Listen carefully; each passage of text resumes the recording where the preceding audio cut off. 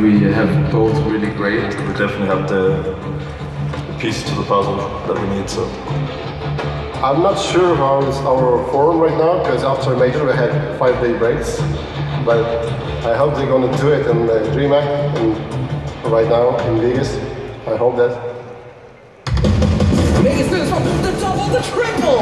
Our team form right now is is kind of decent, I would say. We just changed the players, so it's gonna be tough to predict. Right now I'm, I'm confident.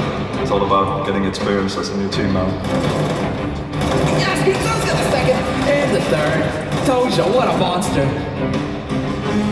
Everyone is performing good right now. We have me, we have a young team, and we have fresh blood.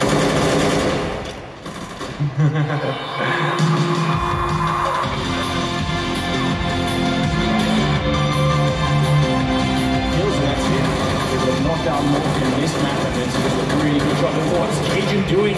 All four kills. Of course, we, we definitely want to win it. Practice is going really good so far, so I think we are quite ready for the challenge. We really motivated. We wanna win this tournament.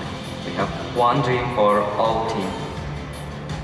That's why we're gonna win this. We have three, four players who can win the game themselves. Time will show how good we actually are. I hope. I hope we're gonna win. That.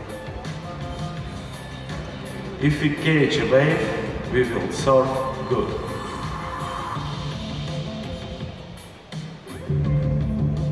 And for the first quarterfinal, welcome Gambit and North.